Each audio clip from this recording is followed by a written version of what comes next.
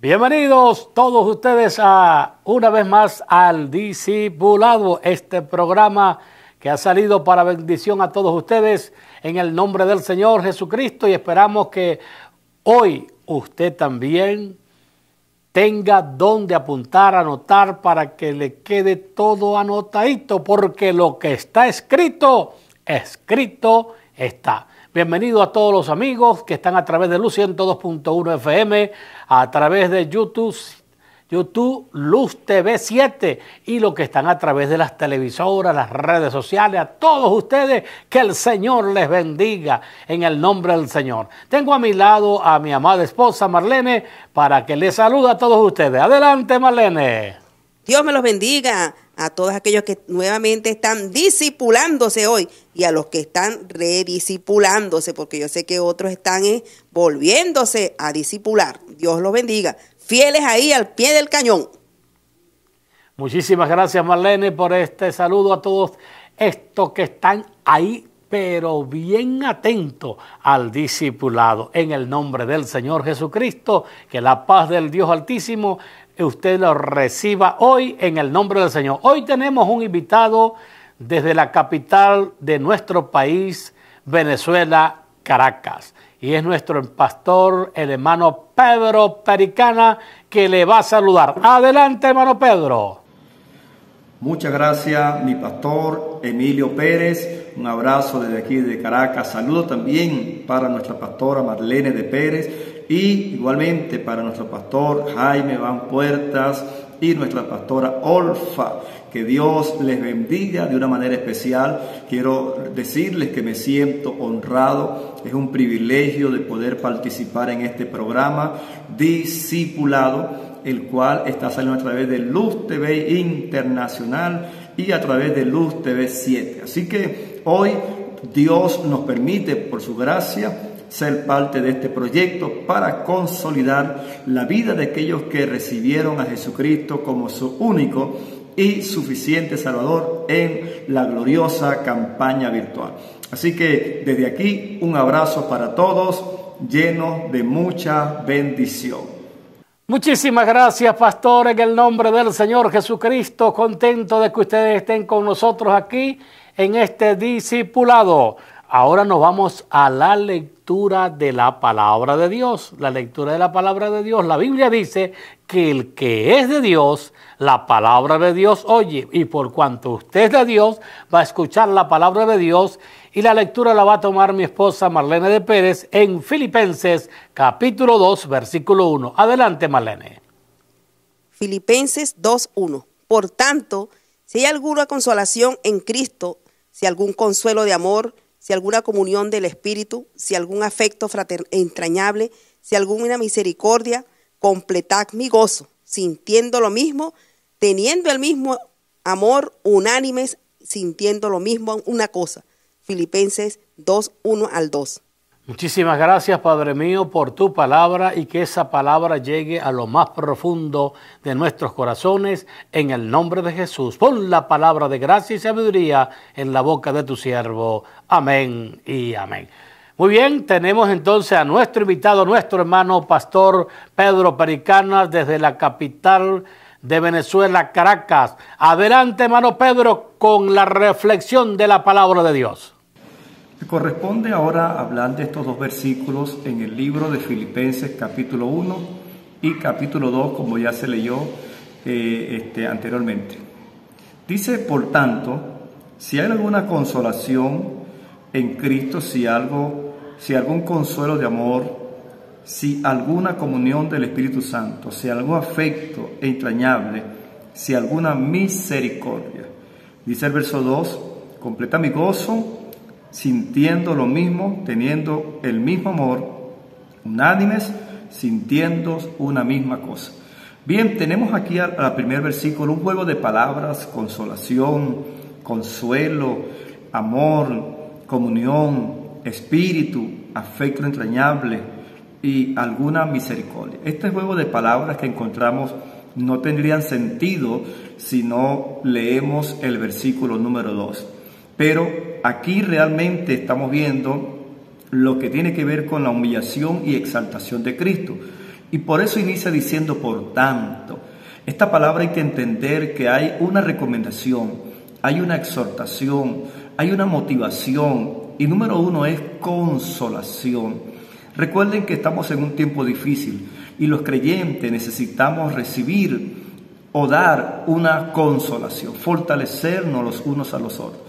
Cuando no podemos, cuando no tenemos esa fuerza, entonces el Señor Jesucristo, Él mismo nos consuela, Él mismo nos fortalece, Él mismo nos ha enseñado la importancia de estar unidos en el Espíritu, un afecto entrañable y la misericordia que se ha derramado sobre nuestras vidas, que esto, dice el verso 2, completa el gozo del apóstol sintiendo una misma cosa. Que Dios les bendiga. Adelante, Pastor Emilio. Muchísimas gracias, Pastor, por la explicación de la palabra, por esa reflexión que es de mucha bendición para todo lo que estamos escuchando, la explicación de las Sagradas Escrituras. Ahora nos vamos a la pregunta. Siempre nos hacen preguntas.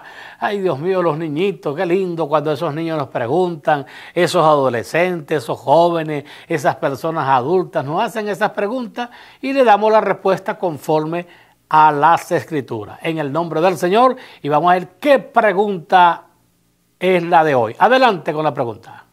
Dios le bendiga. Tengo una pregunta. ¿Por qué hay que darle gracias a Dios en todo, en lo bueno, en lo malo. Ah, que Dios bendiga a este niño. Qué bueno, buena pregunta. Buena pregunta tenemos. ¿Por qué hay que darle gracias a Dios? Es la pregunta que hace este niño. ¿Por qué tenemos que darle gracias a Dios? Se la vamos a responder, hijo. Esté pendiente. No sea parte de este discipulado. Manténgase conectado con esta bendición porque le vamos a dar la respuesta no solo a este niño, sino a todos los que están conectados en el, en el nombre del Señor, pero esa respuesta se la vamos a dar después de este corte. Ya regresamos con ustedes. Aprender cada día te permite crecer. No te pierdas la escuela dominical por las casas con el pastor Juan Flores cada domingo a las 11 de la mañana por Luz TV. Buenas historias, más bendición en las mañanas de Luz TV son de gozo. Qué bonito es compartir la palabra de Dios en Los Matutinos con el hermano Puertas y los pastores de la obra Luz del Mundo de lunes a viernes a las 10 de la mañana por Luz TV. Buenas historias, más bendición. En los fines de semana, las armonías producen emociones, los videos sensaciones.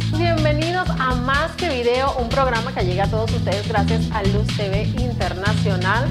Disfruta del programa con la actualidad de la música cristiana, entrevistas y más de lo nuevo en Más que Video con Génesis Reyes. Estreno cada viernes a las 7 de la noche por Luz TV. Buena música, más bendición.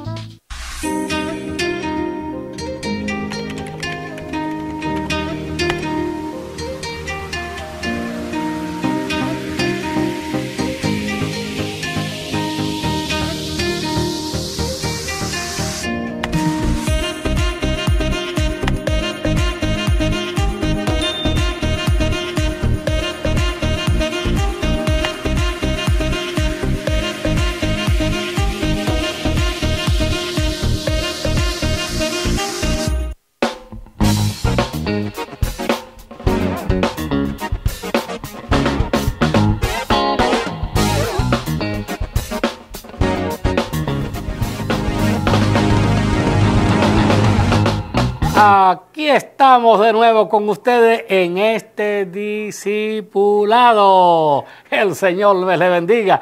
Bueno, este, ahora nos vamos con las preguntas y respuestas de la Biblia que todo santo debe conocer. Y estamos en el artículo 43 del capítulo 2 de las preguntas y respuestas de la Biblia. Voy a pedirle a mi esposa para que lea el artículo 43. Adelante, Marlene. Presentación del niño al Señor. En los días del Señor Jesucristo, en este mundo, le presentaban los niños para que los bendijera. Mateo 19, 13 al 15, Marcos 10, 13 al 16 y Lucas 18, 15 al 17. Actualmente los niños en su tierna edad son llevados al templo para que el pastor ore por ellos y los presente al Señor. Gracias. Ahora tenemos al invitado, él le va a dar la explicación. Tome nota, tome nota, apunte, anote en su cuaderno las, las, las preguntas, anote las respuestas en el nombre del Señor y serán de mucha bendición. Adelante, Pastor Pericana, con el artículo 43. Nos corresponde hablar sobre la presentación de los niños al Señor. La Biblia dice que los niños venían o los traían a Jesús para que Él pusiese sus manos sobre ellos y les bendijera. Hoy por hoy nosotros enseñamos a nuestros hermanos, a nuestros congregados, a los allegados a la iglesia, cuán importante es reconocer que Jesucristo es el dueño y Señor de la vida. Por lo tanto, cuando un niño nace, ellos vienen a presentar a sus niños a la iglesia. ¿Con qué intención? Para que ellos desde su temprana y tierna edad sean guiados por el Espíritu Santo.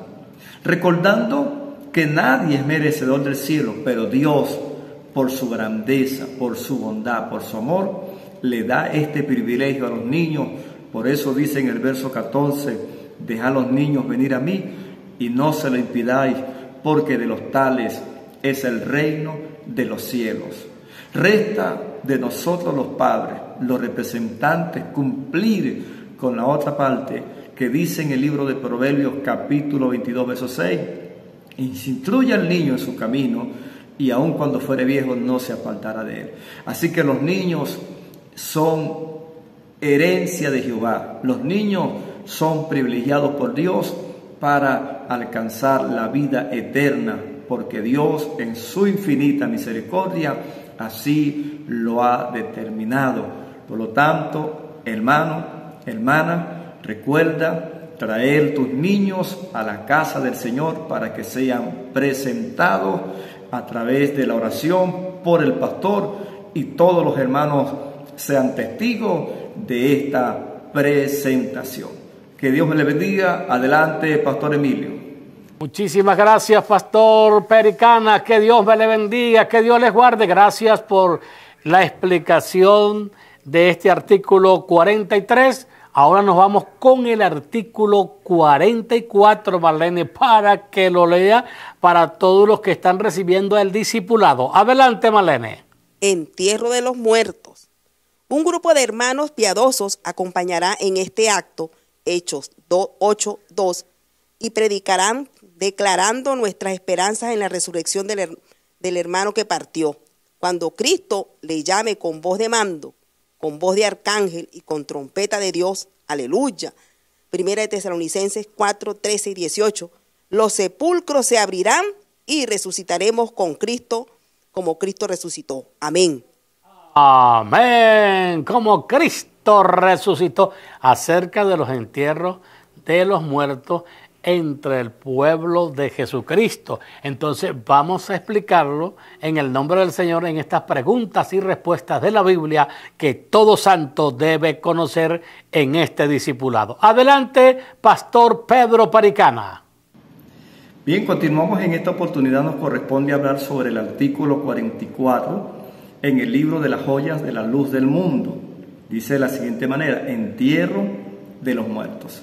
En esta ceremonia, cuando un fiel creyente es llamado a la presencia del Señor, un grupo de hermanos de la iglesia, ancianos, hombres, mujeres, jóvenes maduros en el Señor, como dice la Escritura en el libro de los Hechos, capítulo 8, verso 2, y hombres piadosos llevaron a enterrar a Esteban este grupo de hermanos son los que tienen la responsabilidad de realizar este servicio, el cual se le conoce como el servicio fúnebre.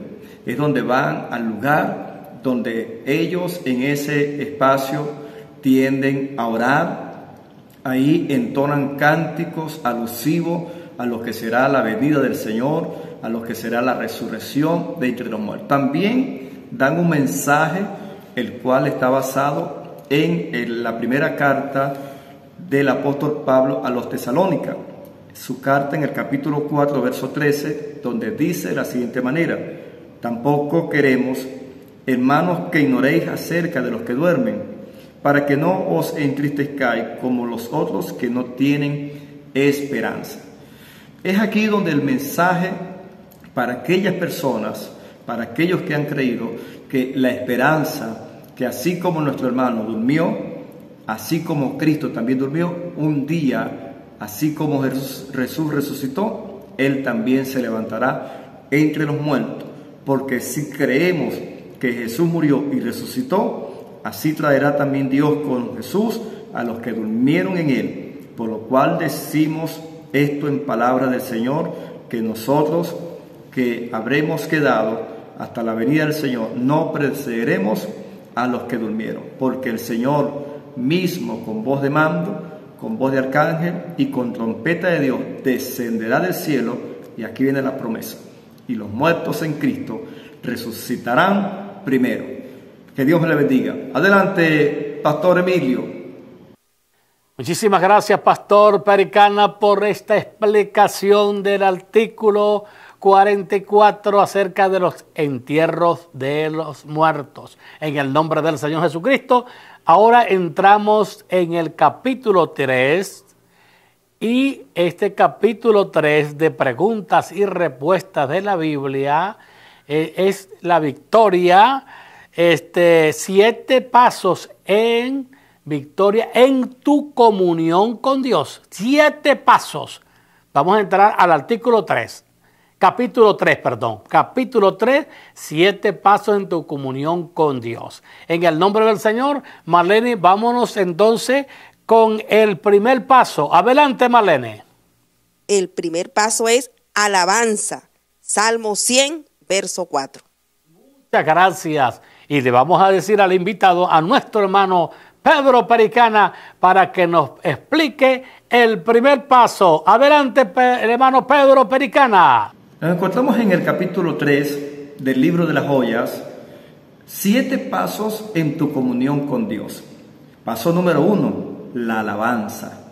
Salmo capítulo 100, verso 4 dice, entra por sus puertas con acción de gracia y por sus atrios con alabanza. Alabá y bendecí su nombre. Aquí encontramos que una de las mayores expresiones del pueblo, de nosotros como hijos, es el agradecimiento. Y no hay nada más lindo que alabar a Dios. Así como las aves, bien de mañana, ellas alaban al Creador, así nosotros entramos a su presencia con alabanza. La Biblia dice claramente, todo lo que respire, alabe a Jehová. Adelante, Pastor Emilio. Muchísimas gracias, hermano Pedro, por la explicación de este primer paso en tu comunión con Dios. Ahora nos vamos con el otro paso. Marlene, ¿cuál es el segundo paso en, andar en comunión con Dios? Adelante, Marlene. La sangre de Cristo en el, es el camino nuevo. Entra confesando todos tus pecados y perdonando, según Primera de Juan 1.9, Proverbios 28.13 y Marcos 11, 25 y 26. Muchísimas gracias en el nombre del Señor Jesucristo. Qué bueno es conocer estos pasos para andar en comunión con Dios. Si usted se aprende estos siete pasos, hoy le vamos, estamos en el segundo. En el nombre del Señor, usted se lo aprende. Ah, tome nota, tome nota en el nombre de Jesús. Alabado sea Dios y vamos a darle pase a nuestro hermano Pedro Pericana. Adelante, hermano Pedro. Segundo paso para estar en comunión con Cristo, la sangre de Cristo. Dice, es el camino nuevo. Entra confesando tus pecados y perdonando. Encontramos en el libro de Hebreos, en el capítulo 10, verso 19. Así que, hermanos, teniendo libertad para entrar en el lugar santísimo por la sangre de Jesucristo, por el camino nuevo y vivo que Él nos abrió a través del velo, esto es de su carne. El lugar santísimo nadie podía entrar sino el sumo sacerdote, pero vino Jesucristo, mayor que el sumo sacerdote, rasgó el velo con su resurrección y hoy tendremos, tenemos entrada al trono de la gracia, al lugar santísimo. Pero nos encontramos en el libro de Marcos, en el capítulo 11, versos 25 y 26. Cuando oréis, cuando estéis orando, perdonad si tenéis algo contra alguno, para que también vuestro Padre que está en los cielos os perdone vuestras ofensas. Es necesario que nosotros estemos a cuenta con nuestros hermanos, para que estar a cuenta con Dios. Por eso la Biblia dice que si tenemos comunión los unos con los otros, la sangre de Jesucristo nos limpia de todo pecado. Adelante, Pastor Emilio. Muchísimas gracias, hermano Pedro, por la explicación del segundo paso en tu comunión con Dios. Ahora nos vamos con el tercer paso y mi esposa lo va a leer. Adelante, Marlene. Adoración. Santo, santo, santo. Exalta lo que Dios es. Amor, omnipotente, fiel, eterno, misericordioso, perdonador, omnisciente, ayudador, etcétera, según Apocalipsis 4:8.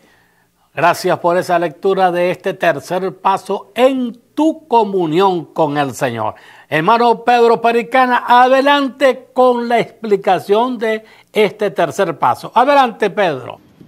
Por último, estaremos hablando del tercer paso que me corresponde el día de hoy y es la adoración.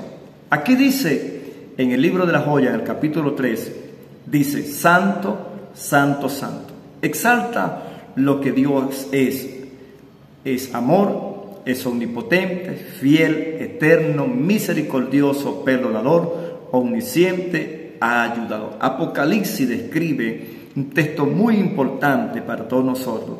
Y los cuatro seres vivientes tenían cada uno seis alas y alrededor y por dentro estaban llenos de ojos y no cesaban día y noche de decir, Santo, Santo, Santo es el Señor, Dios Todopoderoso, el que era, el que es y el que ha de venir. Aquí encontramos una adoración celestial, exaltando lo grande y maravilloso que es nuestro Dios. Esto quiere decir que nosotros a la hora de entregarnos en adoración tenemos ejemplos en la Biblia, no importa cuál sea la circunstancia, no importa cuál sea la situación, es recomendable exaltar, reconocer cuán grande es nuestro Dios.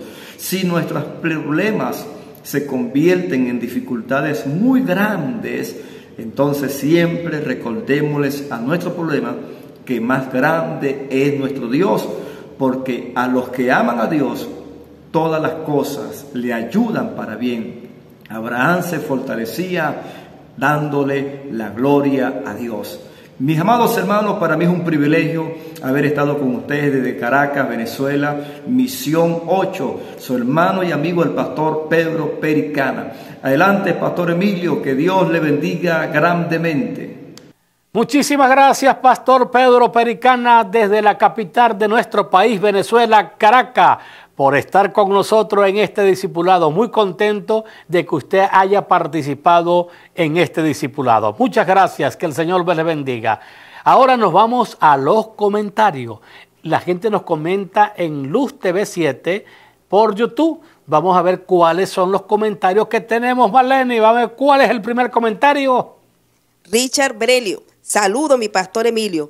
Saludos a su esposa, Dios les bendiga. Hermano Richard, que el Señor me le bendiga. Contento de que usted haya escrito en el nombre del Señor. Adelante con el otro comentario. Allá está nuestra hermana Alciria Rondón, mil por ciento conectados desde Barinas, Misión 6. Pastor Wilmer y Alcilla de Rojas, respaldando la visión del Dios, el discipulado. Que Dios bendiga a nuestra hermana Alcidia y a los hermanos y amigos y los discípulos allá en Barina, Estado Barina, Venezuela. Ahora nos vamos en el nombre del Señor con el, con el otro comentario, Malene.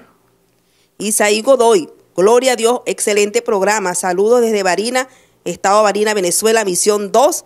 Mi pastor es Damaso Montilla y Antonia. Que Dios bendiga al pastor eh, Damaso Montilla, nuestra hermana Antonia, la misión número 2 y a todos los que están en el estado Barinas, que el Señor me les bendiga. Contento de que ustedes están comentando en el nombre del Señor y saber que ustedes están conectados con esta bendición. Gracias en el nombre del Señor. Gracias de verdad, millones de gracias por estar en este discipulado. Que Dios me les bendiga. Ahora Estamos llegando al final por hoy, por hoy, porque seguimos después en el nombre del Señor Jesucristo. Seguimos en esta bendición para la gloria y honra del Señor Jesucristo y esperamos que sigan conectados con nosotros. No se lo pierdan, no se pierdan este discipulado que está siendo de mucha bendición para usted, para su familia, para sus hijos, para sus vecinos. Invítenlo a que estén con ustedes y oigan la palabra de Dios. Malene. El pastor dijo, yo me voy a desaparecer, me voy a volver invisible, dijo. Ay, Dios. Así dijo el pastor Sí, Puerta. señor, así dijo. Así dijo el pastor Puerta. Y como él dijo que se volvió invisible, entonces nosotros también nos volvemos invisibles y aparece el Y pastor él vuelve a aparecer.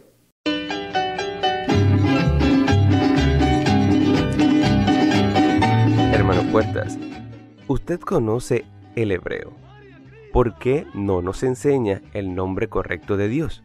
Y en su lugar nos enseña que es Jehová. Y eso es un término greco-romano.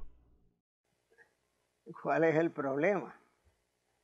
En la Biblia aparece Dios con muchos nombres.